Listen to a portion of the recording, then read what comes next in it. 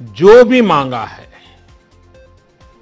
मुझे कभी भी देशवासियों ने निराश नहीं किया है। ये आपके आशीर्वाद की ताकत है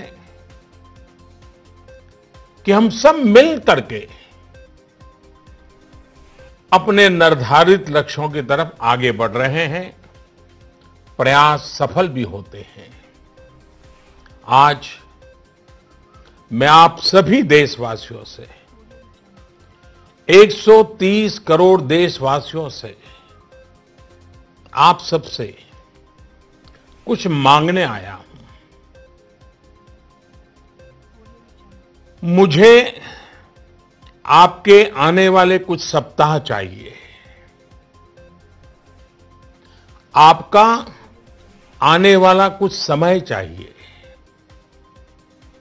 मेरे प्यारे देशवासियों, अभी तक विज्ञान कोरोना महामारी से बचने के लिए कोई निश्चित उपाय नहीं सुझा सका है।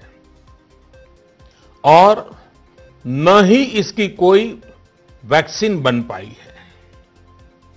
ऐसी स्थिति में हर किसी की चिंता बढ़नी बहुत स्वाभाविक है। दुनिया के जिन देशों में कोरोना का वायरस और उसका प्रभाव ज़्यादा देखा जा रहा है, वहाँ अध्ययन में एक और बात सामने आई है। इन देशों में शुरुआती कुछ दिनों के बाद अचानक बीमारी का जैसे विस्फोट हुआ है।